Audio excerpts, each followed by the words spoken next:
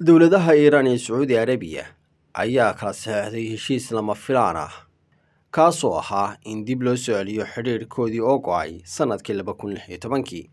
islamarkaasina dib loo furo safaaradaha labada dan. Waxaa sidaasi shaaciyey warbaahinta labada waddan sacuudi arabiya ayaa xidhiidhka u jartay iiraan sannadkii laba kun lix iyo toban kadib markii safaaradda ay ku leedahay tahraan ay ku xoomeen shacab intii ay socotay muran u dhexeeyey labada dhinac oo ka dhashay markii riyaad ay xukun dilah ku fulisay wadaad shiico ahaa kadib wadahadallo jamhuuriyadda islaamiga ah ee iiraan iyo dhex maray boqortooyada sacuudi arabiya ayaa lagu heshiiyey in dib loo bilaabo xidhiirhkii diblomaasiyadeed islamarkaasina loo furo sida ugu dhaqsaha badan laba bilood gudahood safaaradihii labada dhinac.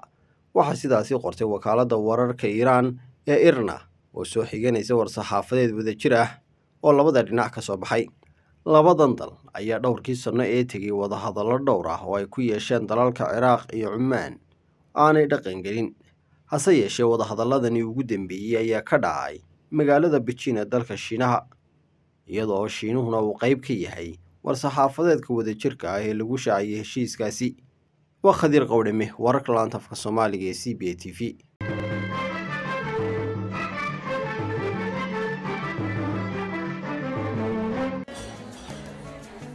واو اسبوعك في عايز صاحبي waad ka heshay sooma ما شاء الله صح ما عاد وش بصير waxaan ku shubtay xidhmo furan toban doolar baad ku shuban kartaa shan baad ku shuban kartaa shan iyo toban baad ku shuban kartaa labaatan baad ku shuban kartaa